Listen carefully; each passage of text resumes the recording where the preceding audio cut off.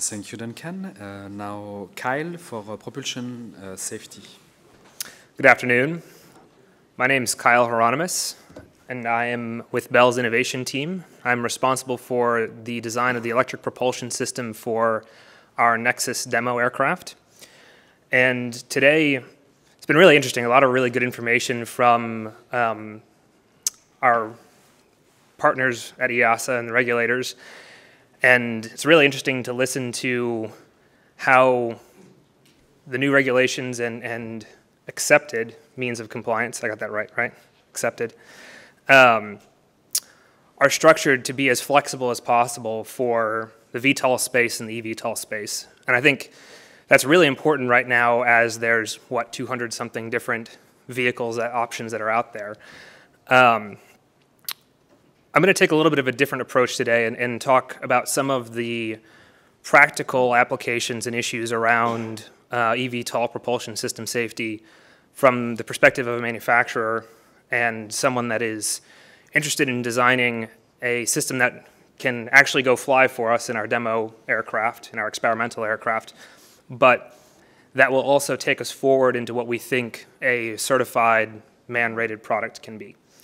Um, in general, this is a really, really big topic, and you know, 20 minutes or 25 minutes is certainly not enough to cover all of the considerations that we are working through, but there's a couple here that I think are really key to taking the discussion about how we implement uh, um, distributed electric propulsion into a VTOL aircraft into a real application and, and potentially a certified application. So I think everyone's familiar with the promise of eVTOL, and specifically the application of electric propulsion into VTOL aircraft. So it was presented this morning that we need to be four times quieter and twice as safe and 15 times more reliable, and I forget all the numbers, but it's a really big challenge. And the reality is, if this was all possible with existing technology, these aircraft would be flying around today. And quite clearly, they're not. So we have to be applying new technologies to be able to reach those types of metrics and goals. One of those is electric propulsion, and another associated to that, hand in hand, is distributed propulsion. Um, and they're really exciting. There's a lot of different ways we can use them. There's, it's very exciting about what we can do to unlock different configurations of aircraft that, that formerly weren't possible with legacy technologies but they're not necessarily the magic bullet for everything. So, like any typical engineering design, there's a trade between opportunities and challenges.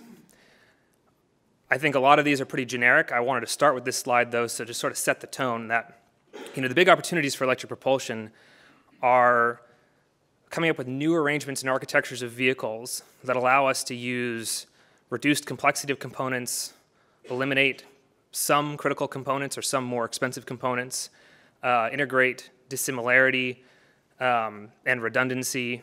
Um, and at the end of the day, you know, one of the major goals for this for a commercial operator is to reduce the cost and increase the safety of the aircraft. So that comes from not only designing to a you know DAL A or a 10 to the minus 9 aircraft, but it comes back to the operational safety, which is ease of maintenance and reduced pilot workload. I mean, both of those are key both for safety and for direct operating costs of the vehicles.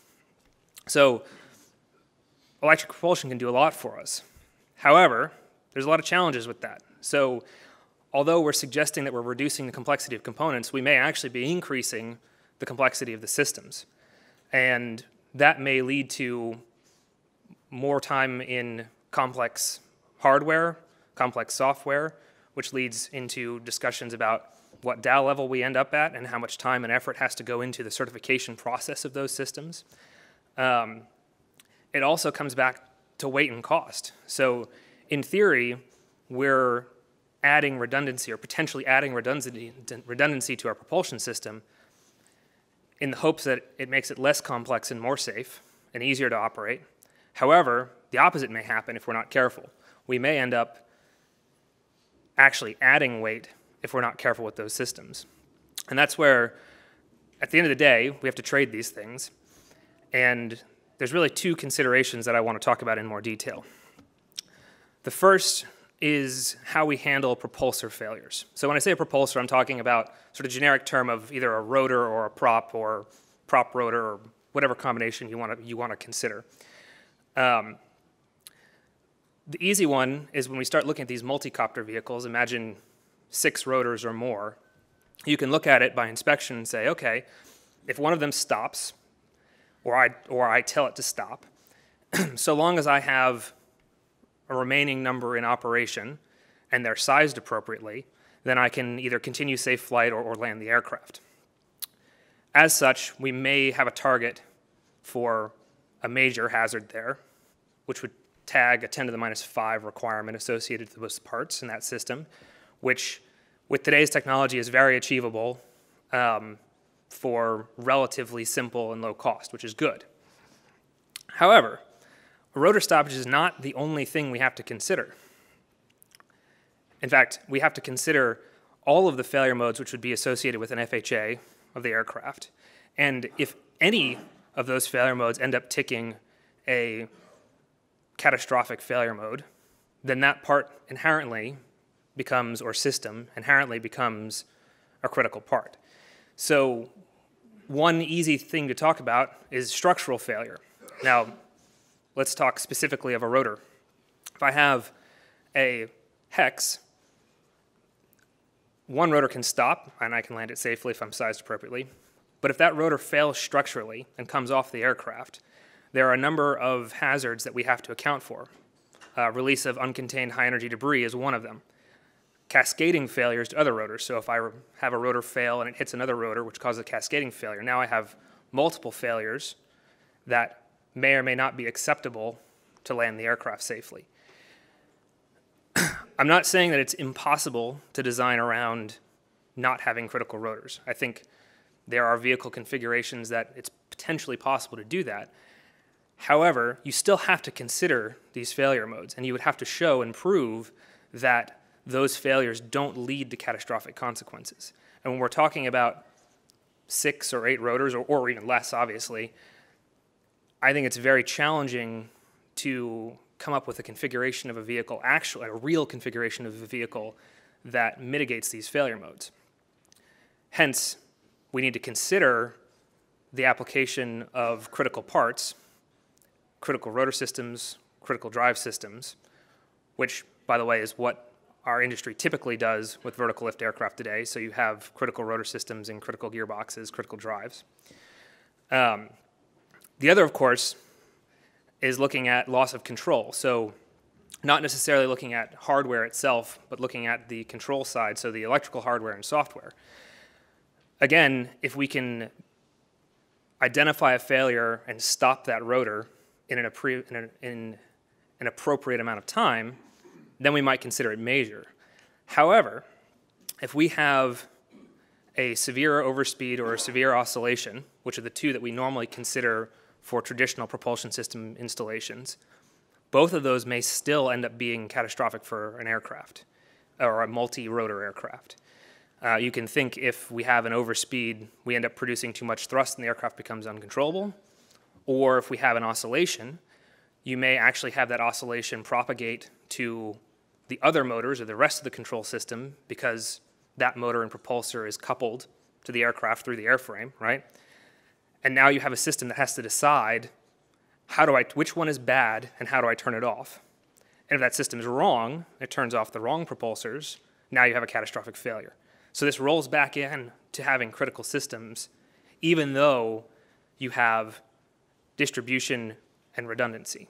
So the key here is that redundancy is a very powerful tool, and I think it's important for us to use it appropriately to increase the reliability and safety potentially, and also decrease the cost and operation of the vehicle. But it may not be the answer alone, and it has to be specifically applied to each configuration of aircraft. Now, there's, there's another really important part of this that is not necessarily a safety discussion alone, but the safety discussion actually ties us into performance and of the vehicle and weight of the components.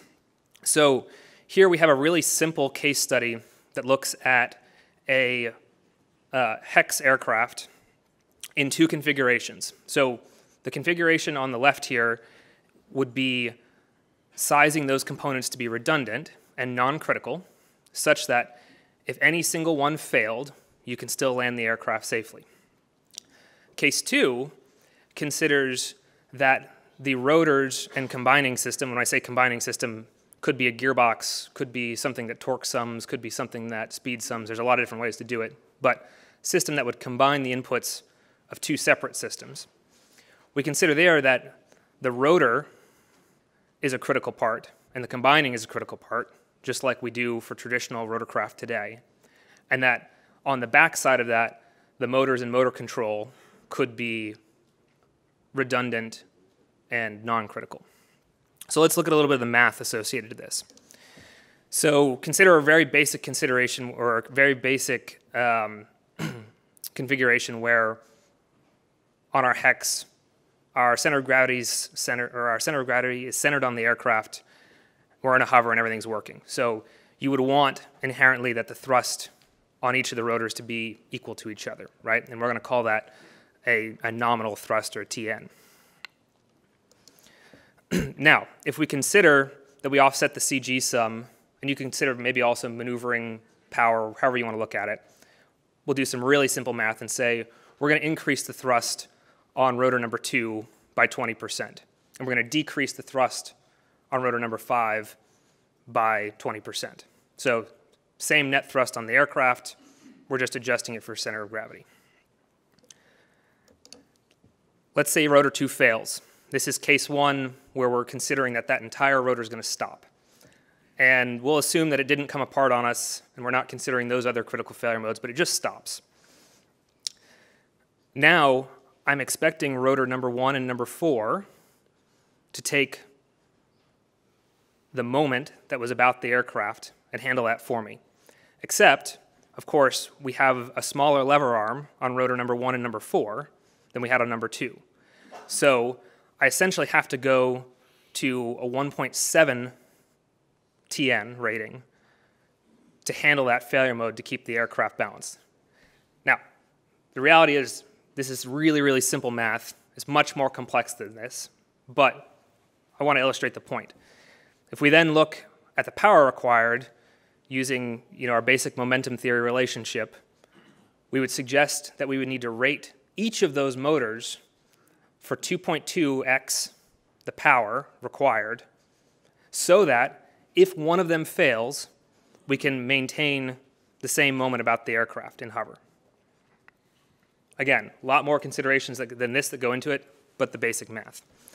Now, let's look at a critical rotor system with two, two motors per rotor. And we assume a single failure. One of those motors goes out. now what we can do is, since we didn't lose the whole rotor on number two, we can increase the power output from the remaining motor, but share the load across the remaining. So I increase the power on one, four, three, and six, and the power on number two. And if I roughly balance that all out, I end up needing to go to a 1.2 thrust instead of a 1.7 thrust. And what that means for power is I end up needing a 1.3 power rating instead of a 2.2 power rating. In the big picture, that's a really big difference when we start talking about weight and cost of components. That power doesn't come for free. It doesn't come for free in the electric motor, it doesn't come for free in the distribution, it doesn't come from free in the energy storage we're already, with any of these vehicles, only barely on the cusp of having vehicles that are light enough to perform a meaningful mission. Increasing the power by 20, 30, 50, 100% for these, to account for these failure modes is really not an acceptable option when it comes to looking at carrying a vehicle with payload. so, in a summary of this, looking at these two cases, case one being that introduces redundancy into the propulsion system all the way through the propulsor so that you have no critical rotors. Case two being the rotor system is critical, but the propulsion system is redundant. What you end up seeing is that both of them can handle a stoppage. So case one handles it with redundancy. Case two, you don't stop the rotor. You have a critical rotor and a critical drive system, just like you do on traditional aircraft. So you assume that that failure is extremely improbable, and you test and you show through already accepted means of compliance that, that that's acceptable. now we look at the structural failure and loss of speed control. In case two, we're handling those with the critical systems. I'm saying it's a critical rotor. It's more than just the rotor system. It's the control system and the drive system, right, is critical. In case one, there's not, to me, a clear means of compliance for those failure modes.